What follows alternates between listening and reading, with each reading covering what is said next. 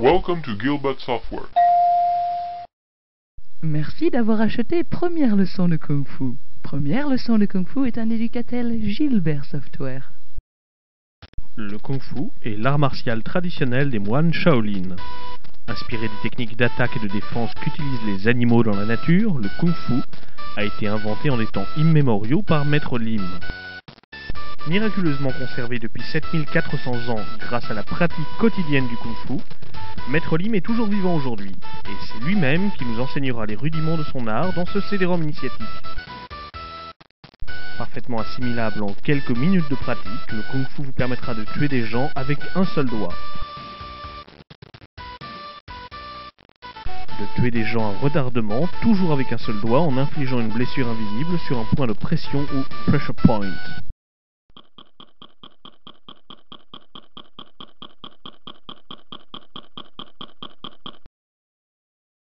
Ou, plus impressionnant encore, de réussir le rigluant.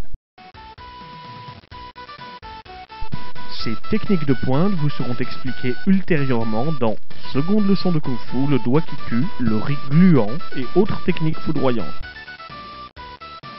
L'abécédaire du Kung Fu consiste en la maîtrise parfaite des quatre techniques offensives de base.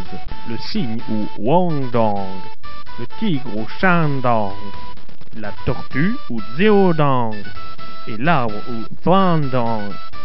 C'est sur cette dernière technique, la technique de l'arbre, que nous allons focaliser notre attention, car elle est à la fois la plus simple et la plus épatante. Maître Lin va maintenant exécuter sous nos yeux le kata de l'attaque de l'arbre. Essayez de bien mémoriser les différents mouvements de kata.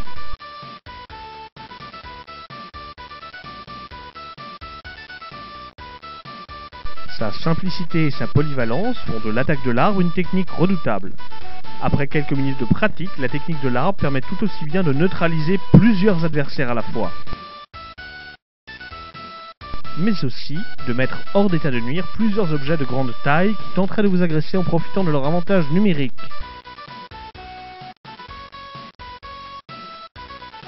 Voilà, vous maîtrisez maintenant la toute première technique de Kung Fu, la technique de l'arbre. Quand ils s'adresseront à vous, vos amis devront désormais vous appeler maître ou maître des arbres. Le cri qui tue n'est bien sûr qu'une légende, un mythe colporté par les films de Hong Kong.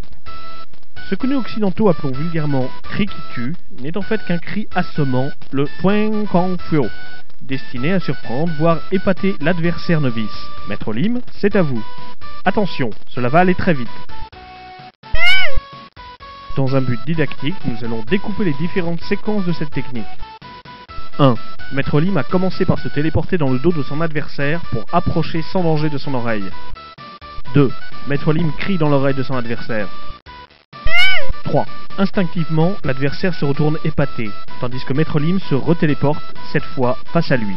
4. L'adversaire est à la merci de Maître Lim qui n'a plus qu'à l'achever, par exemple avec l'attaque de l'arbre. Devenir immortel, maîtriser l'attaque du tigre ou de l'arbre, pousser le cri qui tue pour épater un adversaire novice, tuer un adversaire à retardement ou plus épatant encore, réussir le rigluant. Autant de techniques millénaires et assimilables en quelques minutes. Merci. Dans la même collection, Gilbert Software vous propose les éducatels suivants.